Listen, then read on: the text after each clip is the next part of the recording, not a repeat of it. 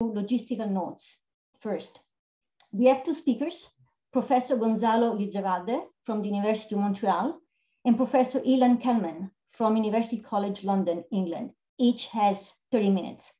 We then have two panelists, both from York University, Professor Anna Zalik and David Etkin. Each has 10 minutes. At 11.30, we should be able to open the floor to questions, comments, reactions, suggestions. And we have 25 minutes for the Q&A segment. To manage interventions effectively and fairly, given the size of the audience, I ask that you use the raise hand Zoom feature if you want to, to speak. And now let me introduce our first speaker, Gonzalo Lizarralde, a professor at, at, at, a professor at the School of Architecture at University of Montreal. He has taught at University of Cape Town in South Africa, McGill University, Canada, the International University of Catalonia in Spain, Universidad del Valle and Universidad Javeriana in Colombia. Professor Lizarralde is the holder of the research chair Fayolle-Magil Construction in Architecture, Construction and Sustainability. He's also the director of the IF Research Group and the leader of the Disaster Resilience and Sustainable Reconstruction Research Alliance. He's a founding member of IREC, an international network of specialists in disaster risk reduction and reconstruction is the author of the books Unnatural Disasters and The Invisible Houses, and the co-author of the book Rebuilding After Disasters. He's a member of the College of New Scholars, Artists and Scientists of the Royal Society of Canada, the country's first system of multidisciplinary recognition for intellectual leadership. Professor Lizarralde, the floor is, is all yours. Thank, Thank you. you very much. Thank you. I want to thank uh, Ali and all his team at York University and CIFAL York for organizing this and for inviting me to this very important event. Uh, the title of my presentation is pretty much the title of uh, my book, Why Most Re Responses to Risk and Climate Change Fail, but Some Succeed. And in order to explain this argument, I'm going to use the plastic straw fallacy, or what I would call the plastic straw sophism. Basically, this idea that we can uh, ban, for example, plastic straws or plastic bags in stores. And, and, and by doing that, we really don't have to make tough choices. We can basically get around easily with the type of problems and risk creation we're facing today. But at the same time that we're banning plastic straws or plastic bags in our stores, at the same time, we haven't changed our patterns of consumption and we haven't changed our ways of living. For example, in Canada, the US, and Australia, for the past 30 years, the size of houses has increased about 30%. Uh, that also happens in terms of not only bigger homes, but also cooler homes. The size of families are shrinking in these countries, but we have we're building larger homes and more air-conditioned ones. Uh, there has been an increase of about 20% of air-conditioned homes in the past 20 years in the US alone.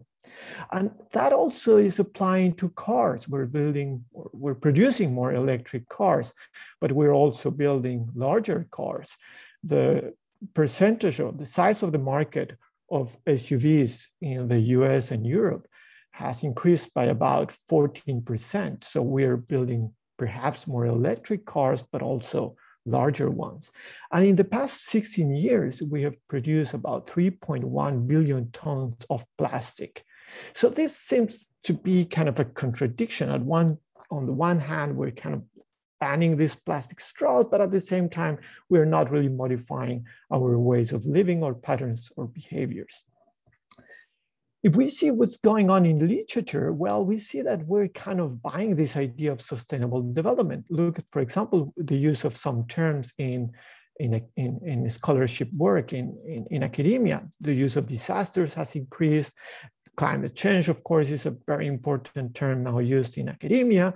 But way more important than those two terms have become sustainability. So as, as academics, we're kind of buying this idea that sustainability is the way forward. It's, uh, it's a term way more popular than, for example, artificial intelligence or black holes, which are very popular terms, I think, part in part due to pop culture. Between 1987, when sustainable development was elevated to the level of international policy to 2008, we have increased CO2 emissions by 1.7 times. Global temperature have increased, has increased by 0.4 Celsius. Sea level rose by 80 millimeters. We have killed uh, large amounts of wild species by about 60% of reductions in populations. We have lost about 2.5 million square kilometers of Arctic ice, sea ice, and we have lost great percentage of shallow water corals and oceanic oxygen reserves. And as you probably know, disasters have also increased since the 1980s to today. So what's going on here? We could say that the principles of sustainability, but that also applies to resilience, and as you will see in my book, to community participation and innovation, have not been sufficiently adopted. We can say, we could say they are misunderstood, perhaps poorly implemented. But what I'm arguing in this book is that something else is happening. They are part of the problem. And the argument of the book is to say, well, not only these are part of the problem, but I'm trying to reveal how and what are the consequences of that. So let me give you today a few examples. The first example is this idea of the blank slate. When disasters happen, there is this need to build new green solutions, resilient urban solutions to solve the problems that we were facing. This was certainly the case in Haiti after the 2010 earthquake that destroyed Port-au-Prince. You can see here an image of this uh, charcoal market in downtown Port-au-Prince. And there was this idea at the moment after 2010 that there, there was this need to remove all these uh, sectors and slums in downtown Port-au-Prince and replace them with what? Well, replace them with sustainable, green, resilient solutions. New buildings, we were going to eradicate all this and build sustainable buildings that will bring Haiti to modernity. Well, at the end, we know that didn't happen despite the enthusiasm and efforts of some international agencies, that never really materialized. What happened in 10 instead was Canaan. Canaan was an empty zone in the northern part of Port-au-Prince, basically a place that was not inhabited. Uh, that was basically agricultural land. And after the disaster, people started to go and settle in Canaan. It started with just 60 families, and today we calculate that there are more than 300,000 300,000 people living in informal conditions and precarious conditions in Canaan. And producing green solutions wouldn't be that bad if they didn't have skeletons in the closet, but they often do. This is a case, for example, of EcoPark, which was sold a few years ago as one of the greenest developments, urban developments in the outskirts of Hanoi in Vietnam. This was supposed to be one of the most sustainable new developments in the periphery of Hanoi, full of green, resilient, innovative solutions to overcome some of the problems of Hanoi today. But unfortunately, this was built mostly on rural land, and that implied that close to 3,000 families had to be displaced in order to build EcoPark. And many of them were forcibly and aggressively displaced from their lands. Another issue I tackle in this book is the idea of aid. How much does aid actually aid? What are the relationships that we're finding today in the field of reconstruction or risk reduction? And by analyzing this, we will I reveal in the book that many of those northern southern relationships are still very strong. But there is also lots of aid happening today, south south, and new countries are entering this aid arena, such as China, for example. You can see here an image of a tent that was donated by China for the reconstruction in Haiti. So this is kind of challenging the way we see aid today with advantages and disadvantages. One of the best, most successful examples of reconstruction in Haiti actually came from a Colombian NGO that understood many of the problems of working in the global south, something that many international and, and northern organizations didn't understand. Another idea is this, is this principle of innovation. After disasters, or in order to prevent disasters, we need to innovate. We need to change construction practices. We need to change behaviors. We need to change ways of living. And this was certainly the case again in Haiti.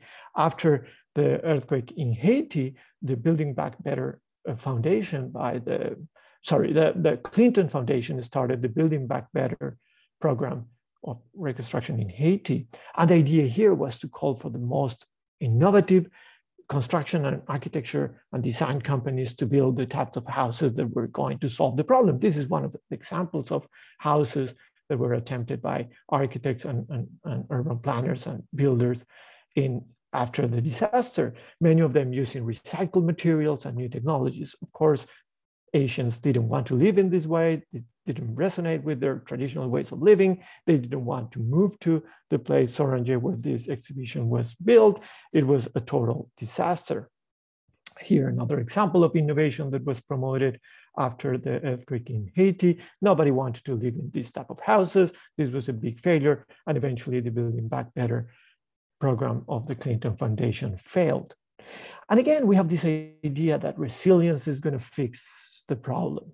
If we adapt, if we uh, build more resilient systems, we're going to get away with it. And this is certainly the case not only in the global north, but also in the global south. We can we know that many cities, including Cali in Colombia, are now part of the Resilient Cities program of the Rockefeller Foundation, for example. There is this idea that by adopting this, this language and this resilience policy, we're going to get around the problem. And actually, some of those ideas get written in policy, but they do not fully translate into practice. This is a town that is just besides Cali in Colombia. Cali, again, a resilient city by the Rockefeller Foundation program. And this is Yumbo. Yumbo is in the outskirts of city of the city of Cali and Yumbo is an industrial city. And many uh, rural migrants coming to, to Yumbo are looking for jobs because there are many companies uh, already operating in Yumbo. But what they find actually is lots of pollution and they have to um, build in informal settlements. And this is one of the neighborhoods built uh, by, by people in the outskirts of, of, of Yumbo. Well, so it seems that there is a contradiction between what we write in policy, what we attempt to do, and what is going on on the ground. So basically, what I've been trying to do for the past few years is listening to people and what their stories are, what they're telling us about, and trying to contrast this with the official rhetoric and arguments and policy that we are preparing.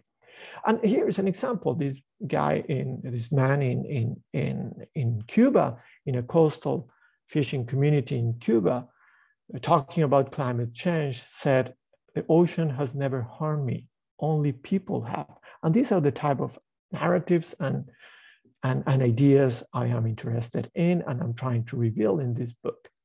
So we have on one hand the official and academic narratives, and on the other hand, we're finding these local narratives about risk and climate change. For example, in the official and academic narrative, narrative, we see climate change as an atmospheric crisis, whereas people on the ground are telling us, well, this is more of a social and environmental crisis.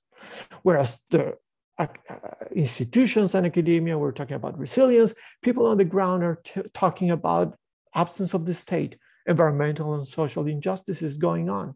Whereas some policy documents and official documents focus on natural hazards. On the other hand, people are talking about crime and machismo and corruption and lack of water and services and food. On the one hand, this idea of adapting, and on the other hand, this idea of finding opportunities, people looking for opportunities for jobs, for education, for uh, income generation. On the one hand, this idea that people should develop adaptive capacities. And on the other hand, people talking about attitudes and, and activism, long-term threats, and people talking about daily struggles. I don't have food for tomorrow, for example. Sustainable development is a paradigm to, for fixing this, uh, these problems. And on the other hand, people talking about aspirations and social status. Responsibility transfer, notably through neoliberal policy that transfer responsibilities to markets and to the private sector, and the idea of need of protection from communities. This idea of relocation, whereas on the other hand, people are calling for continuity. And we tend to forget the invisible sector too. We tend to forget that this sector is responsible for building about half of the housing stock in the global south. And these ideas of sustainability and resilience very rarely are paying attention to that sector. So the argument of the book is we need perhaps new narratives. We need to reinterpret those narratives. We need to listen much more to communities and people on the ground because our official and academic narratives are certainly not resonating and they're certainly not causing the type of effects we want. We want, we need, for example, strong institutions, something that neoliberal policy is trying to avoid. We need strong institutions that can take care of people and react after disasters. I show in the book the example of uh, the Federation of Coffee Growers in Colombia after the earthquake of 1999, a strong institution in the Colombian political system and administrative system that was very useful to produce the type of change that was required. This organization was able to rebuild about 14,000 individual projects in a period of two years. But that requires expertise and that requires appropriate knowledge of the situation. And in that case, the Coffee Growers Federation decided to give money directly to people to try to see how people reacted to that and how they would use their resources. And it eventually became a very successful reconstruction experience. Another case I show, these are just examples, is the city of Facatativá in Colombia. Like many other cities in the global south, Facatativá is crossed by a river that overflows in the rainy season very often, about once a year and destroys houses and peoples and lives. And this experience tells us that sometimes we need more freedom for the low income and excluded and marginalized communities, and maybe restrictions for the most privileged. And let me give you an example of how these freedoms were expanded for low-income families in Facatativá. The mayor at that time didn't have enough resources to build the 2,000 houses that were required to reduce risk in his town.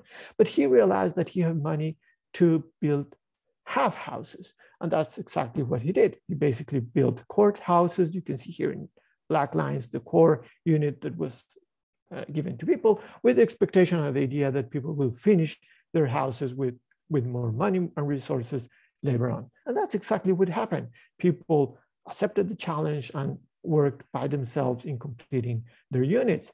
And the core housing project was properly designed in a way that at the back, people could complete and finish their houses. That's exactly what happened a few months later. People were already finishing their homes. And because of the density and proximity to services, the neighborhood eventually improve the quality of life of people, but also their income opportunities. People started building, opening businesses uh, at home and integrating income generating activities within homes. So what is this, all of this telling us? Well, disasters are often seen as ideal opportunities to modernize and plan from scratch. This idea of the blank slate, we'll start from scratch, we'll replace what is existing and problematic with new solutions. But we need to wonder who wins and who loses from this radical change. We increasingly have to challenge this idea because many, quite often, it is the marginalized, excluded, and the poor who lose in that game. We have placed an exaggerated hope in technology, the private sector, and markets, both for reducing risk and reconstruction and reconstructing after disasters, and sometimes in detriment of consolidating strong institutions. That's an, a, a common argument throughout the book. Neoliberalism, for example, builds, builds on strong alliances between political and economic elites. This, they, they are usually behind this idea of sustainable development and resilience. And, and, and neoliberal policy very often uses also sustainability and resilience as arguments to legitimize that type of change. Risk reduction is not only about writing policy. Sometimes policies were written in paper, it looks good. But again, it's kind of this plastic straw fallacy or sophism, because the real change changes require implementation, and implementation is very difficult. It's extremely difficult sometimes. It requires trust and emotions and attention to detail and permanence, and it requires understanding and ethics and empathy. It is necessary to expand the rights and freedoms of the most vulnerable. But sometimes we also need to prevent the most privileged from creating or perpetuating new risks. Climate change is seen as a problem of social and environmental injustices. It is necessary to redress them, including multiple, multiple stakeholders, and also perhaps including the informal sector, one of the largest industries today in the world. It is key to understand local narratives. I think we need to hear more, and this book is about listening to people and hearing what they're saying on the ground and comparing that with our abstract and hollow jargon of sustainability, resilience, adaptation, innovation, participation, and many other um, slogans. We need to think about risk beyond fear. We cannot write policy based on the idea that people will be afraid of disasters, will be afraid of the earthquake, will be afraid of tornadoes or hurricanes. Yes, there is the issue of fear, but there are many more emotions happening on the ground and linked to risk and disasters and change. Dancing, soccer, cultural activities are, for example, climate actions too. And I show in the book examples of how these social and cultural activities have an impact on the way we think about risk. They're key to produce change. So we cannot write policy only based on the idea that people will be afraid of hazards. That's only part of the story. But people also have attachment to place. People have aspirations. They also want opportunities. They also want the state to be present. There are many other emotions and feelings and, and aspects that we need to understand beyond the idea of fear. More humility certainly is needed. We need to listen more. We need to pay more attention to what people are saying. We need to avoid our abstract and hollow jargon and, and concepts and listen much more and accept that we don't have the solutions and we sometimes don't have the knowledge to provide the right type of solutions. It certainly won't be any easy, but it requires sacrifices. And the question I ask in this book, are we ready to make real sacrifices or do we still want to rely on the plastic straw fallacies that are not producing the type of change we need? And this is what the book is about, and I look forward to the discussion. So thank you very much for this invitation. Thank you so much. Uh, yes, Professor uh, um, for such a thought-provoking presentation. Um, we are ahead of time, and although we have a dedicated Q&A section uh, segment at, uh, um, at the end, I think we can uh, um, we can take a few questions from from the floor. We have about ten minutes. Sure, um, be a pleasure. So, uh, okay. Um, so uh, if you if you have a comment, uh, reaction, question, uh, suggestion, please uh, use the raise hand feature. And okay, we have a comment. Um, okay. How does climate change impact nature? That's something very interesting. We tend to think about the impact of climate change in human systems. We tend to think about its impact on people. But talking to local leaders in Latin America and the Caribbean, for example, we have found that for many local residents, climate change is a problem that affects the ecosystems. And they tend to think about the effects on, for example, natural forests. They tend to think on the impacts on fauna and flora. So yes, it is very important. I think it's a very good question, uh, Ali Mubarak, to think about how climate change is also affecting ecosystems and how important those ecosystems are for people, not only in terms of livelihoods, but also in terms of meaning and, and, and significance for them. So what is needed to boost nature's resilience to climate change? To boost nature's resilience to climate change. Oh, that's a tricky one um, I, I, don't know. First of all, do we want to boost nature's resilience? Well, uh, I, I don't know. I, I will pass on that one because it's, it's a tricky one, but uh, interesting. You make me think about that. Interesting.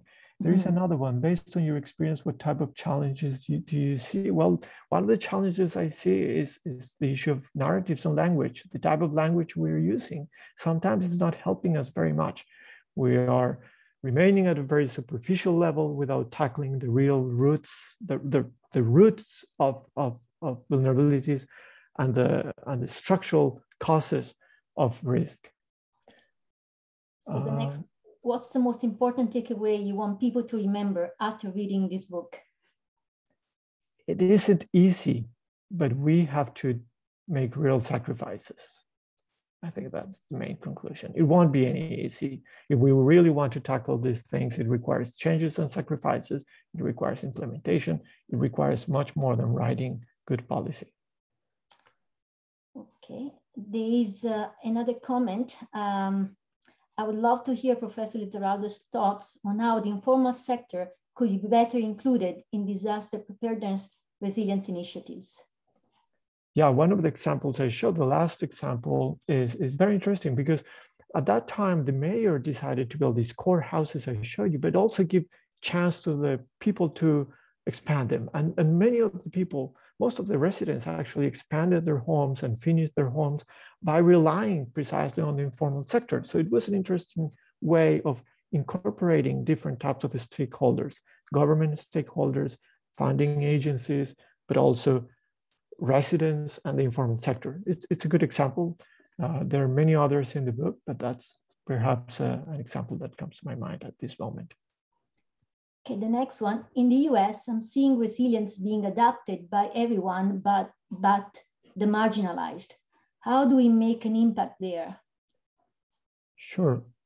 Um, I, I work, I've worked recently a lot in, in Latin America and the Caribbean, for example, and, and very rarely people almost never people on the ground use the term resilience spontaneously. They will use it if we as academics or, or, or government officials come with that concept, but it doesn't come out naturally from people.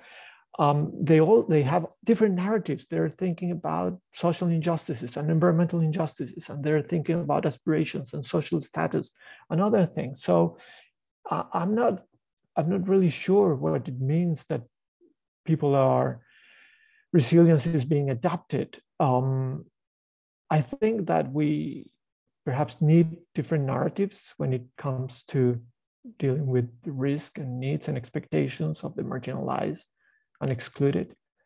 And we have to keep looking for different explanations and concepts and local frameworks and meanings and ideas that have value within communities rather than this idea of adaptation and resilience. Okay, the next one, in the absence of a strong state, how does a strong institution develop? Thinking of cases in the Democratic, Democratic Republic of Congo, where NGO, uh, NGOs have replaced institutions and then hinder development. Yes, neoliberal policy often tells us that strong institu- we should be afraid of strong institutions. Strong institutions become autocratic, strong institutions reduce the rights and freedoms of, of people and so on. And it is true that there have been abuses by strong institutions. There are still many abuses every day by strong institutions. But I show in the book examples of strong institutions that worked with the private sector, that also worked with people, and that real that that had confidence on the capacity of people to manage funds, for example, rather than centralizing decision making these strong institutions also partnered with other institutions. And I show examples in India, I show examples in South Africa, I show examples in Colombia, where these strong institutions do not become autocratic. They instead partner with other stakeholders to produce the type of solutions that we need. Uh, there are very good examples, for example, after the uh, earthquake in Gujarat in, in India of, of, of the uh, state government developing this owner-driven reconstruction, giving money to people to so they could make choices according to their to their own problems, according to their needs and expectations and resources, and so on. And this owner-driven reconstruction process was also adapted in Colombia after the 1999 earthquake, as opposed to this neoliberal policy, for example, that has been applied in Central America for several decades and that has increased vulnerabilities rather than reduce risks. Okay, thank you. Um, okay, nothing else in the chat. Uh, any other uh, intervention? Few more minutes. Okay. I think we probably, as I say, you will have an opportunity at the end. Uh, so thank you very much, uh, uh, Professor Lizarralde. Uh, that was uh, uh, a great presentation. And so maybe now we can move on to our um, next speaker, Ilan Kelman, who is a professor of disasters and health at University College London, England, and a professor too at University of Adger, Agder, Kristiansand Norway. His overall research interest is linking disasters, disasters and health, including the integration of climate change into disaster research and health research. This research covers three main areas. One, disaster diplomacy and health diplomacy. Two, island sustainability involving safe and healthy communities in isolated locations.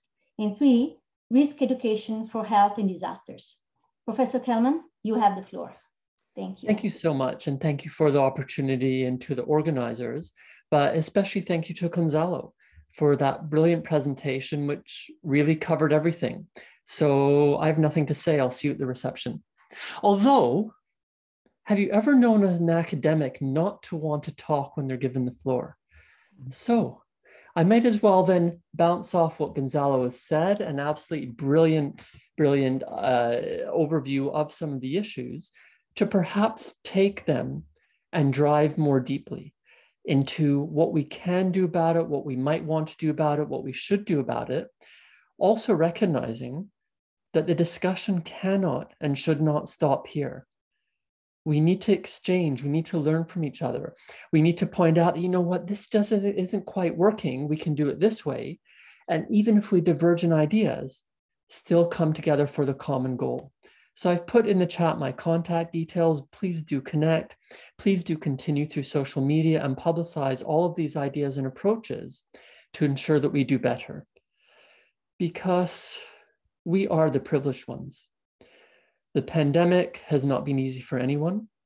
We should never underestimate how much it has affected us, how much it does affect us. But nonetheless, we can continue our work to try to say you know what, we could have stopped this. We did not need to have this situation. We knew everything that we had to know in order to stop it. And yet, so much went wrong, devastating those who had the least to lose and the most to gain.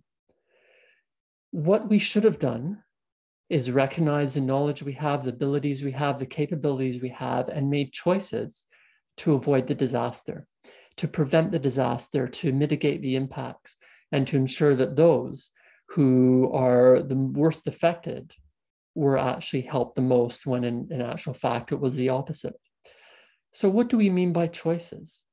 And in a sense, that's where the title uh, of my talk comes from in terms of disaster by choice. We know that disasters come from human decisions and human impacts and human approaches fundamentally human values. It doesn't come from the earthquake or the flood because plenty of places have big earthquakes and don't have a disaster. Plenty of places have big floods and don't have a disaster. That means that somehow, somewhere, we are creating a system or conditions by which a perfectly typical event from the environment ends up collapsing buildings when we could build them to stand up, ends up hurting people, making them even more poor than they already are, when we could actually bring in systems which give them opportunities to have more fulfilling livelihoods, and which let a new virus run rampant around the world because we've decided over the long term not to implement and enforce and obey the monitoring and surveillance systems which exist. And then, of course, our local and national health systems are not fully geared towards dealing with something which has happened before and which we all knew was coming. So, disaster by choice is actually choice by those who can choose, those with the power, the opportunities, and the resources to say, you know what? We need a building code because we're in a major seismic zone. Or we know that a virus is there. So rather than silencing the doctors and public health authorities who alerted, rather than pretending nothing is happening, we're actually going to learn the lessons from past mistakes like the previous coronavirus pandemic, SARS 2002 2004 and ensure this doesn't happen again. Instead, we see time and time again that those who have the power, opportunities, and resources make the decisions that others experience the worst impacts of disasters and that others continue to be susceptible to possible disasters. Exactly as per the quotation that Gonzalo gave us people harm, not environmental harm, not nature's harm, but people harm, people, society making choices for others so that they experience a disaster, which is exactly why we need this title, Unnatural Disasters. These disasters are not natural. So we prefer to avoid that phrase, just call them disasters, recognize natural disaster is a misnomer, to really underlie uh, it's our whole way of thinking that needs to shift. If we call them natural disasters, yeah, you know what? It was an act of deity. Sorry, Zeus, please help me a bit more. Well, we'll, we'll sort of say that, yeah, maybe it was nature. There was nothing we could do. It was random, as opposed to saying, you know what? It's a disaster and we could have done something about it. Recognizing that the choices that people are making happen over the long term. Those powerful and absolutely terrifying stories from Gonzalo on Port-au-Prince and the rest of Haiti, they did not build that overnight. They were not forced to live in poverty and marginalization without the power, opportunities, resources overnight. It takes generations to build a city guaranteed to collapse in the next earthquake. It takes decades, if not centuries, to build a city which ends up sinking below sea level in a hurricane zone with a river and a lake above much of the city. I'm talking about New Orleans. This takes time. It's a long term process. So even though the earthquake happens in 30 seconds or 90 seconds, even though the flash flood might have 24 hours or 24 minutes of warning, that's just the environmental side. That's just nature doing what nature does. The actual disaster, the people who are in the conditions, the circumstances which lead them to being hit, that takes a long time.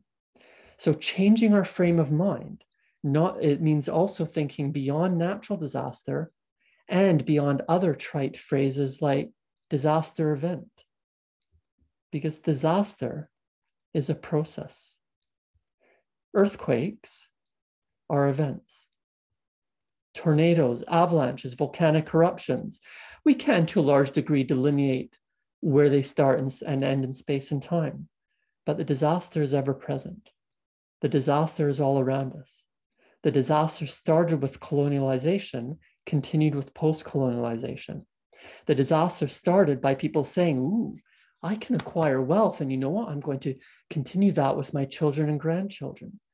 So it's a disaster process, not a disaster event, which means recognizing that, again, we have to flip our frame of mind to think what choices do we have the power to make in order to tackle the disaster process, tackle the disaster problem. You know, it's that time of year when we're thinking of the holidays and in the northern hemisphere that white fluffy stuff might come down from the sky. And we have all the insurance companies and reinsurance companies publishing reports on the top 10 disasters of the year. Dramatic headlines costs economics insurance. Whereas why is no one publishing a report about the top 10 disasters avoided in the year where there was a massive hazard, but no disaster because people dealt with the process over the long term. And Gonzalo alludes a bit to this in his book, but I've been asking insurance companies and others for a long time. I've been trying to do it myself, but it's a question of getting uh, enough people to support in order to say, yes, things are not good. The disaster potential is huge but let's look at the good practice case studies. Let's look at what we where we can succeed and what we can do. Or similarly, get all the UN heads together as an emergency flash appeal between Geneva and New York and Nairobi and say, we need to fundraise because these people haven't had a disaster, but they're really, really susceptible to one. Like an earthquake in Kingston, Jamaica. which could have been easily the same time as a 2010 or 2021 earthquake in Haiti, as devastating, but Kingston, Jamaica has not been hit for quite some time. So perhaps we need an emergency flash appeal to support people in averting an earthquake disaster in Jamaica. Otherwise, the whole approach to the phrasing we use, the whole approach to the histrionics of disasters which we use, are really trying to divert the attention from ourselves. As per one of Gonzalo's slides, is it an atmospheric crisis or is it a human crisis? Yet everywhere we hear these phrases climate crisis, climate emergency. Well, first of all, climate is a statistical property by definition. The issue is actually human caused climate change, it's not climate per se. And second, it's a very insidious way of misdirecting our attention by saying, you know, it's a climate.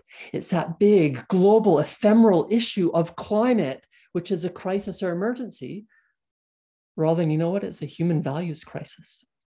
It's us doing it. Give the planet a million years and it won't notice we were here.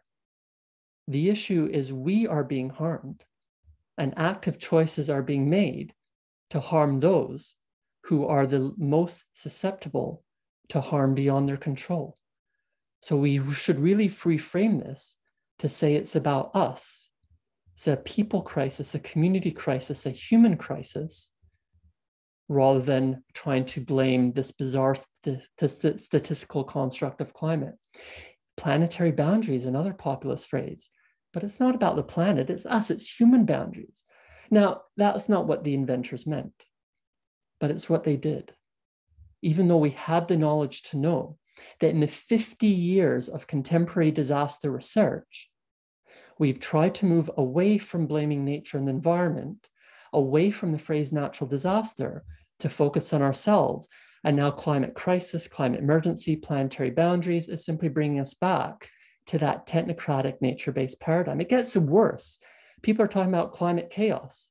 Well, yeah, the climate is a chaotic system mathematically. Climate chaos is a truism.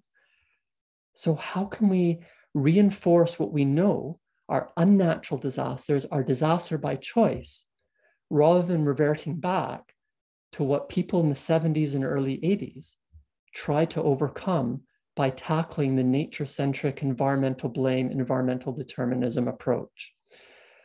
Ultimately, it's this academic phrase social construction disaster. Yeah, just disaster by choice, unnatural disasters, that we are going back to the social deconstruction of disaster by not accepting the blame for those who deserve it, by not recognizing how we could move forward constructively with those who have the choices, who have the opportunities. So it really comes down to focusing on what we know. And then we realize actually not a lot which is new. So we come out with these really fascinating and very difficult to understand phrases, which aren't hardly translatable across many languages, like climate change adaptation. I've yet to find an action in climate change adaptation which has not before been suggested to deal with disasters. In fact, dealing with disasters covers everything that climate change adaptation gives and even more. So we could actually just say if we deal with disasters, by definition, we're dealing with climate change impacts and just have, you know, one phrase that we have to think about, disasters, rather than three words, climate change adaptation, and a lot more. It's the same issue with people talking now about climate adaptation. Well, yeah, if you take an umbrella when you go outside, well, that's actually weather adaptation or weather adjustment. And what's the difference between adjustment and adaptation? It's remarkable how frequently people conflate weather, climate, natural climate change and human caused climate change, as opposed to really just saying what we mean instead of trying to blame everything on the devastation that we're wreaking upon the planet, one symptom of which, not cause per se, but one symptom of which is a rapid and substantive change in the climate. So suddenly, every single hurricane that happens is a fault of human caused climate change. Well, okay, but you know, hurricanes have happened for a while And if you're in the hurricane belt during hurricane season, you might expect hurricanes. Even Hurricane Ida, people were saying, This is climate change. A hurricane went overland from New Orleans to New York, overland. So it took me 10 minutes to find four hurricanes from the previous century that had gone overland from New Orleans to New York. Particularly ironic because every single climate change projection since a key, pa- key papers in 2009 and 2010 have said that hurricane frequency is decreasing because of human caused climate change. Fewer hurricanes. Intensity is increasing, they're going to be worse. They're probably going to form closer to the east coast of the US, so there's less warning time, and they tend to be moving slower in their tracks, so they have a lot more rain and dump it in the same place, which we saw the signal in 2017 in Hurricane Harvey. But human caused climate change is bad enough without making up science or exaggerating by trying to claim that there's going to be more storms when the projection is least storms. And in any case, a hurricane is just a hazard, right? It's just the environment. The disaster comes from our inability to say, yeah, okay, we're in the hurricane zone in hurricane season, there's going to be a storm.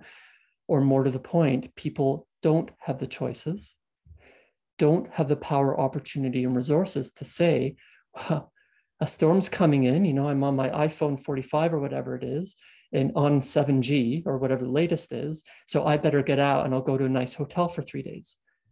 Because most people don't have that access. Most people cannot go to uh, jump in their car and go to a hotel for three days.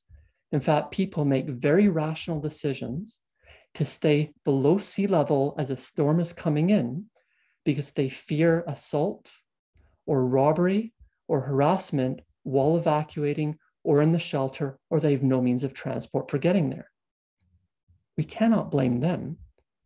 We have to tackle the choices which create a societal structure by which assault and robbery and harassment are everyday conditions, everyday disastrous conditions, forcing people into certain choices that they end up drowning in a hurricane for which everyone had pl- decades of warning it would happen, plenty of prior experience, and days of warning that a particular storm was coming in. We are very good at avoiding admission of the real causes of disasters, the disaster process, the long term nature, the role of time. And there, in fact, is a, a key disaster researcher by name of Et- Etkin, Dave Etkin, yes, David Etkin, who in 1999 published a brilliant paper on risk transference to the future. He used in particular the idea of dikes and levees, basically structural approaches to trying to stop floods, pointing out, compiled with plenty of theoretical and uh, empirical evidence from around the world, that what happens is you build a wall, you keep the small floods out. People say, "Ooh, it's safe," and look, there's a wall there, so that's fine. I can build here without flood resistance measures. Inevitably, there's a flood which exceeds that wall's design capacity. And people are shocked, stunned that they're flooded. And so the flood disaster is far, far worse than it would have been without that structural approach. So his idea is risk transference into the future. We get rid of the small floods and the small disasters in order to uh, support future risk. It's a time issue. Same as Tony Oliver Smith talked about the 400 year earthquake or 500 year earthquake, not the geological return period, not doing seismological calculations saying if we assume uniformitarianism, let's take this fault as being constant, which of course it never is, and therefore we calculate and say this is an earthquake we expect every 400 years. He said no. When we get an earthquake or a disaster involving an earthquake, like the one Gonzalo mentioned regarding Haiti, that actually took 400 years or 500 years for the conditions to build up by which the catastrophe was inevitable. If it weren't the earthquake, maybe a hurricane. And Haiti has plenty of hurricane disasters both before and after 2010. If it weren't the earthquake or hurricane, maybe landslides, maybe other environmental aspects, or simply the day to day disaster of having to live in an exploited, post colonial, marginalized situation by which all the powers with the resources force you to avoid helping yourself to do better. This is the disaster. This is the long term nature of the challenges we face. So remember history. But when we do so, we find that it's not all bad news. We're all here at York University, well, at least to some degree. So think of Toronto, 1954, way back in ancient history. Hurricane Hazel slashed through the city, killing over 80 people, ripping houses from their foundations alongside rivers. Alongside rivers. Okay, they were in a floodplain. So a hurricane comes along, dumps a lot of rain, and the floodplain gets flooded. What did Toronto do? Well, rather than rebuilding in the floodplain, rather than recreating the conditions which led to the disaster, rather than returning to the normal, whereby people were guaranteed to die in the next hurricane, in conjunction with wider changes in municipal governance, they said, you know what? A floodplain can be a floodplain. And now Toronto markets itself as a city within a park because you have absolutely gorgeous ravine systems along the Humber River and the Don River and the tributaries which are walking paths, recreational paths. You know, you see deer there, you see muskrats, incredible for flowers and bird watching. But they were actually there to a large degree to avoid another disaster. So people think of it as being environmental education. Think people think of it as being green commuting routes. But they're there to make a floodplain a floodplain. Rivers do not burst their banks. They reclaim their territory. And so when Hurricane Isabel hit Toronto in 2003, when Hurricane Sandy hit Toronto in 2012, those rivers became raging torrents like during Hurricane Hazel in 54. They simply reclaimed their territory.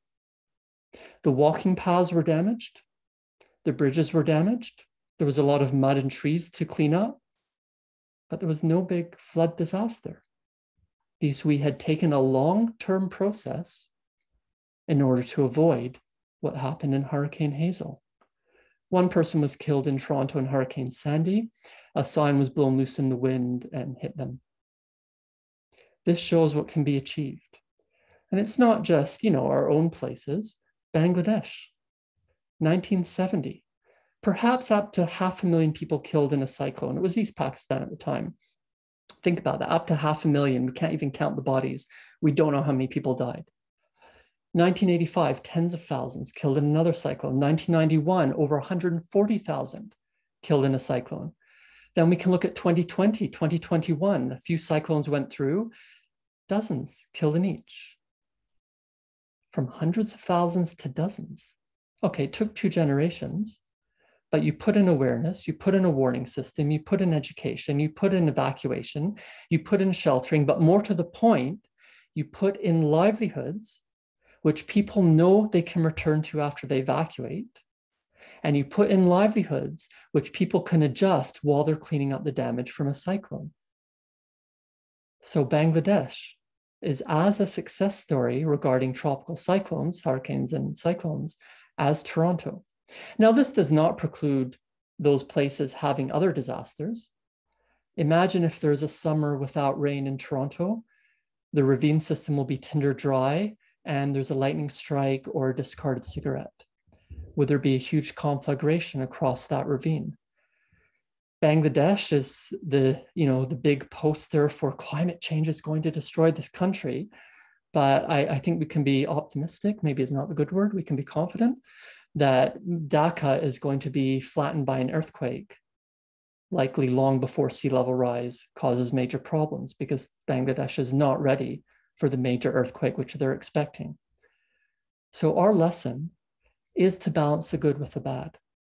Draw on the success stories to show that people, cities can make choices regarding the disaster process to prove that disasters are not natural we should not be succumbing to the dominant ideals of climate does this, climate change does this, it's the earthquakes problem. We should not be using these phrases which remove the responsibility from ourselves, particularly when they collapse at the first investigation. So it's to echo what Gonzalo said focus on the roots, focus on the fundaments. These are not natural, they are up to us. By admitting this, by being honest about what different environmental processes do and do not do, and different what human what human processes do and do not do, then we can hopefully and really aim for changing disaster by choice into no disaster by choice. Thank you. Thank you very much for such an insightful presentation, Professor Kelman. Um, we do have a few minutes, uh, about eight, and I do see that there are quite a few comments. Um, they're not questions, at least I haven't seen the last two. Um, I, I mean, I, am wondering if, uh, um, if uh, we want to